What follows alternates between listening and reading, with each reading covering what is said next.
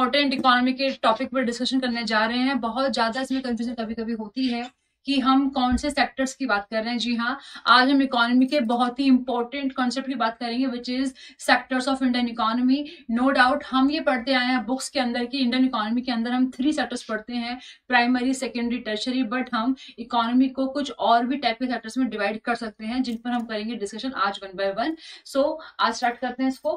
तो बेटा जो आपका इकोनॉमी का सेक्टर्स हैं, इनको हम थ्री पार्ट्स में डिवाइड कर सकते हैं। First one is primary sector secondary sector and tertiary sector लेकिन ये जो हमने डिवाइड किया है इन सेक्टर्स को सभी, ये सेक्टर्स हम इकोनॉमिक एक्टिविटी के अकॉर्डिंग डिस्कस करेंगे ओके लेकिन टाइप्स ऑफ़ इकोनॉमी सेक्टर के अंदर बेटा, इसको हम ऑर्गेनाइजेशन के अकॉर्डिंग भी एंड ओनरशिप के अकॉर्डिंग भी डिवाइड कर सकते हैं। दैट मीन्स इंडियन इकोनॉमी के अंदर अगर हम देखें सेक्टर्स को थ्री टाइप्स में डिवाइड किया जा सकता है।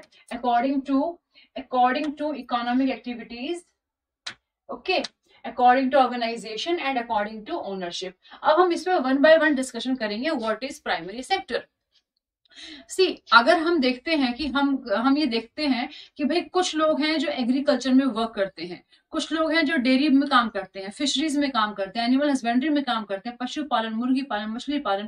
तो बेटा, जो भी लोग इन सब में काम करते हैं, इसका मतलब ये है कि वो सभी लोग प्राइमरी सेक्टर में एंगेज हैं, वो सभी लोग प्राइमरी सेक्टर में काम करते हैं। ओके फिर हम ये देखते हैं कि हमारे पास कुछ कंपनीज़ हैं, कुछ कंपनीज़ के अंदर फैक्ट्रीज चलती हैं, उनमें भी लोग काम करते हैं इंडस्ट्रीज़ में काम कर रहे होते हैं। तो जो भी इंडस्ट्रीज़ में काम कर रहे होते हैं दैट मीन्स कि वो सेकेंडरी सेक्टर में काम कर रहे हैं। फिर अगर हम देखें कि कुछ लोग हैं जो इंडिया में सर्विस सेक्टर के अंदर काम करते हैं। अगर आप अगर आप टेलीकम्युनिकेशन, ट्रांसपोर्ट, अगर आप हॉस्पिटैलिटी, अगर आप बैंकिंग, इंश्योरेंस सेक्टर में काम करते हो दैट मीन्स कि आप टर्शरी सेक्टर में काम करते हो। ओके और अगर हम डिवाइड करें इसको अकॉर्डिंग टू ऑर्गेनाइजेशन तो हम ये देखेंगे कि इंडियन इकोनॉमी के अंदर हम कुछ सेक्टर्स ऐसे हैं जो कि ऑर्गेनाइज हैं, जिनके अंदर प्रॉपरली रिक्रूटमेंट के अकॉर्डिंग लेबर्स को या एम्प्लॉयज़ को वर्क किया वर्क कराया जाता है। लेकिन कुछ इंडिया का सेक्टर ऐसा भी है बेटा जहाँ पर कोई भी कोई भी फॉर्मेलिटीज नहीं होती हैं, ये सेटअप बिल्कुल अनफॉर्मल है, जहाँ पर बहुत ज़्यादा डॉक्यूमेंटेशन नहीं होता है सैलरी फिक्स नहीं होती है, काम करने के वर्क कार्ड फिक्स नहीं होते हैं, ऐसे सेक्टर को हम बोलते हैं unorganise sector and if in case अगर हम बात करते हैं ओनरशिप के अकॉर्डिंग तो इंडिया में सेक्टर्स को आप फिर फिर से टू पार्ट्स में डिवाइड करोगे पब्लिक एंड प्राइवेट अगर आप किसी गवर्नमेंट जॉब में एम्प्लॉय हो दैट मीन्स कि आप एक पब्लिक सेक्टर में काम कर रहे हो, और अगर आपकी अपनी कोई कंपनी है, अपनी कोई फैक्ट्री है, आपने अपना कोई बिज़नेस रन किया हुआ है तो आप एक प्राइवेट कंपनी में जॉब या प्राइवेट फैक्ट्री में आप इंगेज हो. इंपॉर्टेंट थिंग ये है कि इंडियन इकोनॉमी को बेसिकली थ्री पार्ट्स में डिवाइड करते हैं प्राइमरी सेकेंडरी एंड टर्शरी तो बेटा, अगर हम बात करें प्राइमरी सेक्टर की, अगर हम बात करते हैं प्राइमरी सेक्टर की तो प्राइमरी सेक्टर के अंदर आता है एग्रीकल्चर अगर आप एग्रीकल्चर में एंगेज हो, अगर आप डेयरी में एंगेज हो ओके अगर आप काम करते हैं फिशरीज में इट मीन्स कि आप प्राइमरी सेक्टर में काम करते हो। अगर आप मुर्गी पालन, मछली पालन या पशु पालन अगर आप डेयरी प्रोडक्शन अगर आप एग्रीकल्चर ऐसे कामों में इंगेज हो, इसका मतलब ये है कि हम प्राथमिक क्षेत्र में काम कर रहे हैं। ओके अगर आप सेकेंडरी में काम कर रहे हो द्वितीय में काम कर रहे हो, इसका मतलब ये है कि आप कहीं ना कहीं इंडस्ट्रियल सेक्टर में काम कर रहे हो, आप कहीं ना कहीं फैक्ट्रीज में काम कर रहे हो और जो फैक्ट्रीज होती हैं बेटा, वो तीन टाइप में डिवाइड हो सकती है। यहाँ पर अगर हम देखें, छोटे लेवल की factories micro small medium and large micro small medium and large enterprise में डिवाइड हो सकती हैं। ओके अब ये डिपेंड करेगी आप किस सेक्टर में काम कर रहे हो। फिर अगर हम बात करें प्राइमरी सेकेंडरी के अलावा third one is tertiary tertiary एक ऐसा सेक्टर है जहाँ पर जो भी हम सर्विसेज़ में काम कर रहे होते हैं सबको ऐड किया जाता है।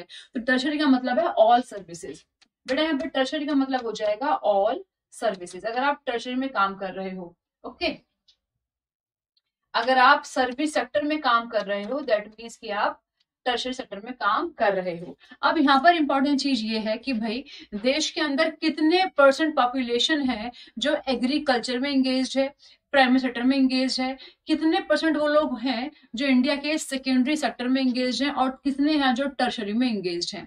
तो अगर हम बात करें, यहाँ पर इंपॉर्टेंट थिंग इज़ कि अगर हम बात करें इंडियन इकोनॉमी के बारे में तो भी कितना परसेंट ऐसा कंट्रीब्यूशन है पॉपुलेशन का जो इंडियन एग्रीकल्चर या फिर प्राइमरी सेक्टर में बेटा काम करता है।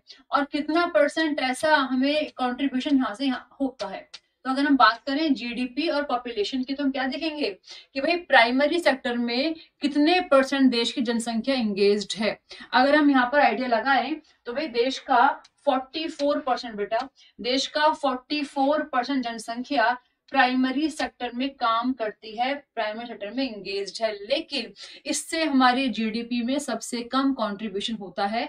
प्राइमरी सेक्टर का इंडियन इकोनॉमी के अंदर बहुत ही कम कंट्रीब्यूशन है ओके इसके बाद फिर अगर हम बात करें, अगर हम बात करें जीडीपी का कितना कंट्रीब्यूशन है तो बेटा ये 14 परसेंट है। इंडियन इकोनॉमी के अंदर 14 परसेंट इंडियन इकोनॉमी के अंदर 14 परसेंट का कंट्रीब्यूशन हमें जीडीपी का यहाँ से होता है। फिर अगर हम बात करें कि भाई बताइए, सबसे ज़्यादा कंट्रीब्यूशन किस सेक्टर से इंडियन इकोनॉमी को होता है? ओके? सबसे ज़्यादा जो कंट्रीब्यूशन इंडियन इकोनॉमी को होता है, वो है, वो तो वो होता है सर्विस सेक्टर से। अगर हम देखें सर्विस सेक्टर के अंदर तो बेटा यहाँ पर हमको 54 परसेंट का कॉन्ट्रीब्यूशन होता है और जबकि इंडियन पॉपुलेशन का 31 परसेंट इस सेक्टर में इंगेज है। ठीक है? इंडियन पॉपुलेशन का 31 परसेंट इस सेक्टर में एंगेज है और यहाँ से हमको 54 परसेंट का कंट्रीब्यूशन होता है। तो हम ये कह सकते हैं कि इंडियन पॉपुलेशन के अंदर 25 परसेंट का कंट्रीब्यूशन यहाँ से होता है और जबकि जबकि 29 परसेंट का कंट्रीब्यूशन हमको यहाँ से होता है। इट मीन्स ये यहाँ पे कहा जा सकता है कि इंडियन इकोनॉमी के अंदर हम यहाँ पे बोल पाएँगे कि भाई इंडियन इकोनॉमी के अंदर, देश के अंदर 44 परसेंट पॉपुलेशन इसमें काम करती है, लेकिन इसमें जीडीपी के अंदर योगदान मात्र 17 परसेंट का ही है। इसमें देश का 25 परसेंट लोग काम करते हैं, लेकिन जीडीपी में इसका कॉन्ट्रीब्यूशन 29 परसेंट का ही है। जबकि इसमें 31 परसेंट पॉपुलेशन इंगेज है, लेकिन इसमें जीडीपी के अंदर कॉन्ट्रीब्यूशन फिफ्टी परसेंट का है। जी हाँ सबसे ज़्यादा इंडियन इकोनॉमी के अंदर कॉन्ट्रीब्यूशन सेक्टर जो है, वो वो कौन सा है? वो सेक्टर होगा बेटा टर्शरी सेक्टर सबसे ज़्यादा लोग इसमें एंगेज होते हैं। हालाँकि इंपॉर्टेंट चीज़ ये है कि अगर हम देखें, इन सेक्टर्स के अलावा हमारे पास दो सेक्टर्स और होते हैं विच इज़ कॉल्ड क्वीनरी जो कि क्वीनरी है and second one is quaternary second one is quaternary okay? Quinary sector मतलब क्या है कि जहाँ पर लोग थोड़े, जहाँ पर लोग ऐसे लोगों को इसमें डाला गया है जो लोग थोड़े से रिसर्च में काम करते हैं, जो लोग रिसर्च में काम करते हैं या लोग डेवलपमेंट पर्पस में काम कर रहे होते हैं इट मीन्स हम कह सकते हैं कि जैसे जैसे कोई सीए होते हैं डॉक्टर्स होते हैं प्रोफेसर्स होते हैं उनको इस कैटेगरी में डाला गया है। जो अगर हम बात करें क्वार्टनरी की, इसमें जो भी इंडिया के अंदर डिसीज़न मेकर हैं, जो भी इसके इंडिया इसके अंदर डिसीज़न मेकर होते हैं, वो सभी लोग इसके अंदर इंगेज होंगे। जो भी इंडिया में डिसीज़न मेकर हैं, वो सभी लोग इसके अंदर आ जाएँगे। इवन हम, अगर हम बात करें डिसीज़न मेकर के अंदर दैट मीन्स अगर आप एक कंपनी के सीईओ हैं अगर आप एक कंपनी के सीईओ हैं तो आप भी किसमें आएँगे? आप भी क्वार्टरनरी सेक्टर का पार्ट होंगे। और इंडिया में जितने भी आई ऑफिसर हैं आईपीएस ऑफिसर हैं, जो भी डिस्ट्रिक्ट के लिए कोई मैनेजमेंट का काम कर रहे हैं डिसीज़न ले रहे हैं इवन देश के प्राइम मिनिस्टर खुद, वो किसमें आएँगे सब सब? वो सब इसमें क्वार्टरनरी के अंदर आ जाएँगे ओके तो इंडियन इकोनॉमी के अंदर देखा जाए बेसिकली थ्री सेक्टर्स ही होते हैं प्राइमरी सेकेंडरी एंड टर्शरी अब जो भी लोग प्राइमरी में एंगेज हैं, जो भी लोग प्राइमरी सेक्टर में काम करते हैं, उनको बोला जाता है कि भाई ये जो जॉब कर रहे हैं, ये एक रेड कॉलर जॉब है। ओके जो भी बेटा इसमें काम कर रहा होता है उसको हम बोलते हैं रेड कॉलर जॉब और जो भी लोग सेकेंडरी में एंगेज हैं, इसको हम बोलेंगे कि ये जॉब इनकी ब्लू कॉलर जॉब है। This is called blue collar job and जो भी लोग टर्शरी में काम कर रहे होते हैं, इनको हम क्या बोलते हैं? This is called white collar job ये इनकी व्हाइट कॉलर जॉब है। एंड जो भी लोग क्वार्टरनरी में काम कर रहे होते हैं, इसको हम बोलते हैं this is called gold collar job this is called gold collar job okay so मुझे ऐसा लगता है, मुझे उम्मीद है कि आपको ये सारी चीज़ें समझ में आ गई होंगी। आप बस ना याद रखना है आपको कि प्राइमरी सेक्टर के अंदर देश का 44 परसेंट पॉपुलेशन है जो काम करती है। पॉपुलेशन 44 परसेंट है जबकि इसका जीडीपी में कंट्रीब्यूशन 17 परसेंट है। सबसे ज़्यादा जीडीपी में कंट्रीब्यूशन सर्विस सेक्टर का है which is 54 percent and population जो इसमें एंगेज है विच इज़ 31 परसेंट ओके फिर अगर हम बात करें सर्विस सेक्टर की सेकेंडरी uh, सेक्टर की तो इसके अंदर जो पॉपुलेशन इंगेज है इसके अंदर जो पॉपुलेशन इंगेज है बेटा वो ट्वेंटी फाइव परसेंट है। और इससे जीडीपी में कंट्रीब्यूशन 29 परसेंट का होता है। ओके एंड जो भी लोग प्राइमरी में काम करते हैं, उसको हमने बोला कि वो लोग रेड कलर जॉब कर रहे हैं, जो लोग सेकेंडरी में है, वो लोग ब्लू कलर जॉब कर रहे हैं, जो लोग टर्शरी में है, वो लोग व्हाइट कलर जॉब कर रहे होते हैं। तो बेसिकली हमने इंडियन इकोनॉमी को थ्री सेक्टर्स में डिवाइड किया, लेकिन इसके टू पार्ट और भी हैं क्वार्टरनरी एंड क्विनरी इसके अलावा हमने देखा organise sector and unorganise sector according to ownership इसको हम डिवाइड करते हैं according to private sector and public sector तो ये हैं इंडियन इकोनॉमी के सेक्टर्स ऐसी ही इंफॉर्मेशन को डेली चेकआउट करने के लिए आप देखते रहिए बैंकपुर और हरियाणापुर पर. एंड इंपॉर्टेंट थिंग इज़ कि हमारे एक नया बैच हम शुरू करने जा रहे हैं विच इज़